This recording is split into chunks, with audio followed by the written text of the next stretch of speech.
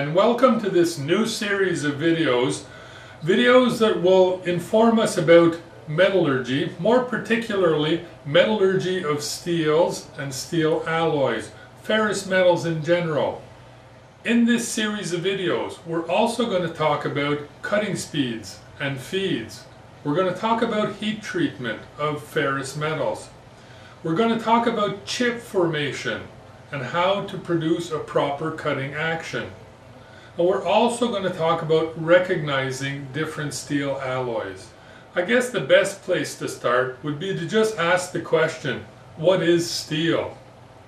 Well, steel is an alloy of iron and carbon. A lot of iron and a little bit of carbon. We're talking here somewhere between 0.1 and 0.8% of carbon. But that's not all we need to have steel. For it to be called steel, it has to be put into form mechanically. We're talking here about laminating.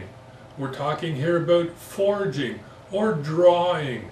Drawing not as in producing a drawing, but drawing steel through a die. These mechanical ways of putting it into shape provides the steel with its properties and are important in the making of steel. So if steel is not formed mechanically, it's just not steel, it's a block of ferrous metal. Now, ferrous metals can be divided into two large families. The first family would be the cast irons, and the second family would be the steels. Now these families can be subdivided. So if we look at the cast irons, we can say that there are three main types of cast irons. There are the gray cast irons, the white cast irons, and the malleable cast irons. If we look at the steel side of the family, we can say that steels can be divided into two large families. The plain carbon steels and the alloy steels. The plain carbon steels, well there are only three types. Low carbon steel, medium carbon steels, and high carbon steels. The alloy steels, however, can be divided into a multitude of groups, almost tailor-made for specific jobs. For simplicity's sake, because alloy steels are such a vast family of steels, I'm only going to present two different groups of steels and a specific alloy. We're going to talk about stainless steels and tool steels, which are two performance-based groups of steels. And we're going to talk about SAE 4140, which is a specific alloy steel. It is a medium carbon steel designed for its ease of heat treatment. I'm hoping that these three descriptions helps us to understand the importance of tailoring steel's properties to the job that we have to produce.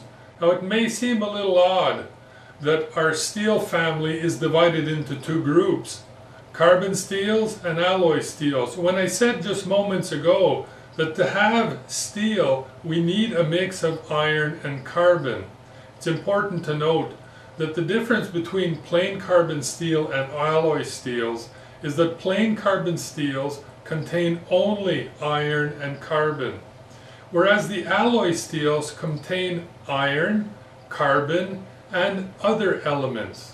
So let's start with the cast iron side of the equation. Cast irons contain iron and carbon, but are not steels for two reasons. First off, the carbon content is way too high. Secondly, they are not mechanically formed. They are poured into molds. Now they are not mechanically formed because their high carbon content makes it very difficult to deform them. Cast irons are not at all malleable. Okay, so let's look at our gray cast iron. Now if you take a mixture of iron, and about 1.7 to 4.5% carbon in its molten state and you pour that mixture into a mold that will cool it slowly, generally a sand mold. well you will obtain what's called gray cast iron.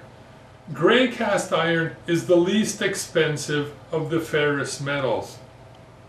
It is easily put into shape by pouring into sand molds. It's this pouring of molten metal into sand molds that gives it its gray, scaly, rough finish. Gray cast iron is very resistant in compression. It is also a good bearing surface because it contains so much free carbon that acts as a natural lubricant. This is why we find it used so often as engine block or cylinder walls in engines. Gray cast iron is readily machinable and it produces fine sand-like chips, almost powdery. One should never use lubricants or cooling liquids when machining gray cast iron. On the downside, gray cast iron is very brittle. It cannot be deformed in any way, and it is absolutely not resistant to shock. Now, our white cast iron is chemically identical to the gray cast iron, but it is molecularly quite different. To produce white cast iron, we have to pour the molten iron carbon mixture into a ceramic mold, which cools it rapidly. This rapid cooling down produces a martensitic structure that is extremely hard. White cast iron is more resistant to shock and traction than gray cast iron, but it's really its hardness that we're looking for when we choose it as a material for making parts. White cast iron is not readily machinable. Water jet cutting, laser cutting, and grinding are about the only ways to change its form. A good example of the use of white cast iron would be the teeth in a rock crusher. To produce malleable cast iron, we have to first produce white cast iron. And we have to anneal that white cast iron to produce malleable cast iron. When we anneal the white cast iron, we eliminate its hardness and eliminate also the stresses and strains that it contained. This produces a malleable cast iron that is a lot more resistant in traction than the other cast irons. It is also readily machinable. We find malleable cast irons used in places like plumbing at T's and 90 degrees for steel pipes because we want something that resists to the movement of the pipe and won't break easily when a slight traction is applied as well as being readily machinable so that we can cut the thread in the pipe fittings uh, required to assemble the pipes. One last thing about cast irons in general. Uh, cast irons are excellent materials for many, many applications. But too often they're used by manufacturers simply because they're cheap. And in those cases, it's really not a good thing. So now let's take a look at our steel side of the ferrous metals family. Now, you can see that we've divided the steels into two large groups. The plain carbon steels and the alloy steels. The plain carbon steels are the least expensive steel family. There are three types of plain carbon steels. Low, medium, and high plain carbon steels. They are divided that way in low, medium, and high carbon content because of what can be done with them. Mild steel or low carbon steel cannot be heat treated, so it's to be used as is it is very malleable. Medium carbon steel is a lot less malleable, but it can be hardened to a medium level. High carbon steel is not malleable at all, but it can be hardened to a high degree of hardness. Mild carbon steels are generally used in structural applications, whereas medium carbon steels are used when shock resistance and resistance to wear are required. High carbon steels are generally reserved for low grade cutting tools. The plain mild carbon steels are available in structural bars such as H-beams, I-beams, C-channels, and so on. They are also available in bar stock, round, square, hexagonal, and so on, either hot rolled or cold rolled.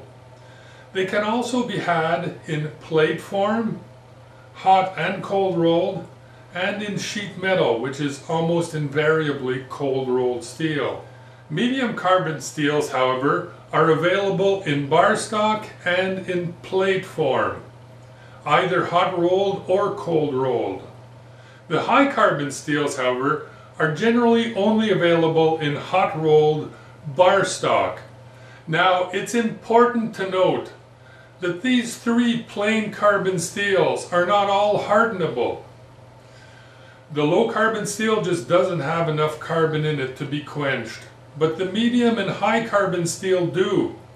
But seen as they're plain carbon steels, they have to be quenched in water.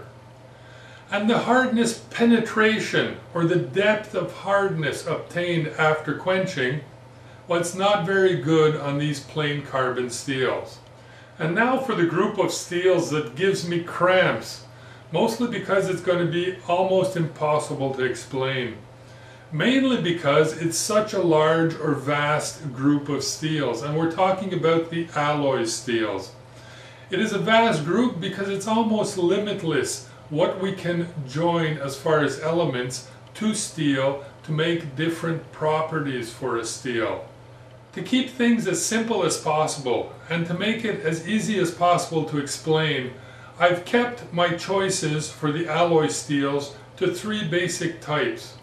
The stainless steels, the tool steels, and the medium carbon alloy steels. The two first alloy steels that we're looking at, the stainless steels and the tool steels, are performance-based classifications. What does that mean? Well, it means that it's what they do as far as performance that makes them stainless or tool steels, not necessarily the alloying agents that they contain. As a general rule, stainless steels are composed of iron, carbon, chrome, and nickel. They are considered stainless because they resist corrosion and they resist oxidation. In other words, stainless steels do not rust easily. It is, however, important to note that stainless steels, for the most part, are very difficult to cut, and that many stainless steels are not attracted to magnets. The alloys tool steels, however, and they're often called high-speed steels, are mixtures of iron and carbon and either tungsten or molybdenum.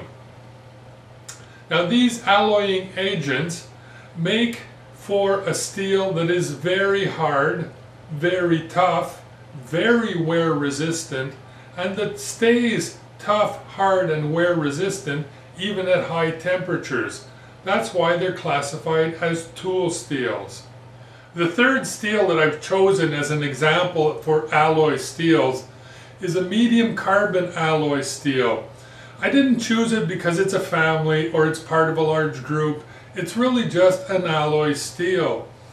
It's an alloy steel as any other thousands of different alloys that you could make up. So the reason why I've chosen a medium carbon alloy steel is to make the demonstration of how we can tailor make steels for specific applications. As mentioned before, plain medium carbon steels can be hardened, but the depth or the penetration of hardness is not very good.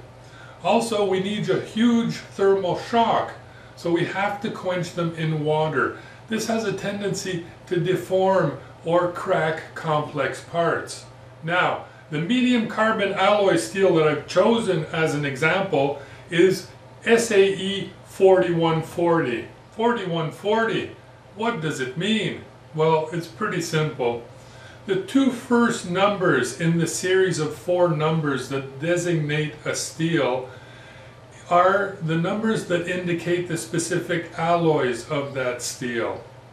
In our case, 4140. So the 41 represents a chrome nickel molybdenum alloy. So our 4140, we've seen what the 41 means. What does the 40 mean? Well, the last two numbers represent the percentage of carbon in one hundredths of a percent. In other words, 4140 is a chrome nickel molybdenum steel that contains 0.4% of carbon. So that means that this steel is a medium carbon steel, that it can be quenched and hardened. So what's the advantage of choosing this steel over a cheaper plain carbon steel, like let's say a 1040? Now the 10 in the 1040 means that there are no alloying elements other than carbon and iron. So we have 4140 and 1040. Both contain 0.4% carbon. Both steels can be heat treated and will come out about at the same hardness. So what is the advantage of paying more for an alloy steel? Well in this case the advantage is that our 4140 requires a smaller thermal shock for hardening than our 1040 does. This means that we can quench our 4140 in oil rather than water as was the case with the 1040. This is a smaller and slower thermal shock, less chance for deformation, less chance for cracking. This also means a much deeper hardness penetration. Now these are major advantages that will make us choose in many cases that expensive alloy steel. This is a security alert. Quenching steel in oil is extremely dangerous. Never use anything but an approved heat treatment oil for quenching steels. Heat treatment oils have flash points that are higher than their normal burning temperature which means that if a fire does start at the surface of the basin, it will extinguish itself. If you do use regular oil for quenching steels, well you will most certainly produce a large fire and even probably an explosion. Take the time to look at the heat treatment video that I produced. Pay particular attention to the quenching portion of that movie. Because even if you use heat treatment oil for quenching your steel, it is still a very dangerous operation. Now there are many, many types of alloy steels. My best suggestion for someone who's just starting out would be to go and talk to your steel provider. Inquire about which type of alloy would be best suited for the job at hand. If nothing else, by now in our first video, I hope that you realize that steel and ferrous metals in general are a little bit more complex than just something you can put a magnet on. There are questions we need to answer before we start machining. Is the ferrous metal a cast iron? Is it a steel? If it's a cast iron, is it a gray cast iron, a white cast iron, or a malleable cast iron? If it's a steel, is it a medium, high or low carbon steel, or is it an alloy steel? If it is a steel, has it been quenched and hardened? How hard is it? Before we start to cut, before we put a piece of steel onto a milling machine or a lathe, we have to know these answers because it could lead to an accident or at the very least wasting a good expensive cutting tool. So before you start cutting, I invite you to watch the next three videos in this series of videos on ferrous metals. Now the second video has to do with differentiating different steels. The third video has to do with heat treatments, how to perform hardening, quenching, tempering, annealing on ferrous metals. The fourth video has to do with cutting action, chip formation, and calculating feeds and speeds. So keep a stiff upper lip. I know these videos are a lot more theoretical than I'm used to making for practical projects in the shop. But it's important to learn these things. Quite often, knowing a little bit about metallurgy and ferrous metals will make the difference between a successful project and a disaster. Happy machining.